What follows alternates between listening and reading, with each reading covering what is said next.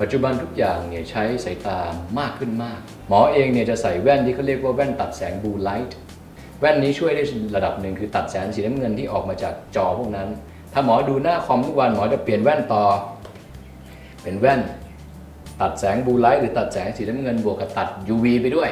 สิ่งสำคัญคือก่อนนอนเนี่ยสำคัญที่สุดคือถ้ายิ่งรอบข้างมืด แสงจะเข้าเยอะ ถ้าเกิดทุกอย่างมืดหมดเขาจะเหลือแล้วกว้างขึ้นกว้างขึ้นคราวนี้แสงเข้าเยอะถูกไหม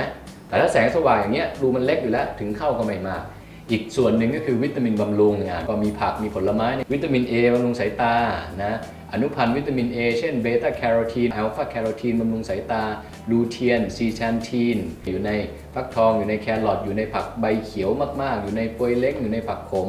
astaxanthin นี่เป็นวิตามินตัวใหม่ๆนะครับบำรุงสายตาทำมาจากสาหร่าย เดี๋ยวนี้มีเยอะลองเลือกหาได้ ถ้าเราใช้สายตาเยอะใช้ให้น้อย 2 ก็คือมีวิตามินมีอาหารที่บำรุงอยู่บ้าง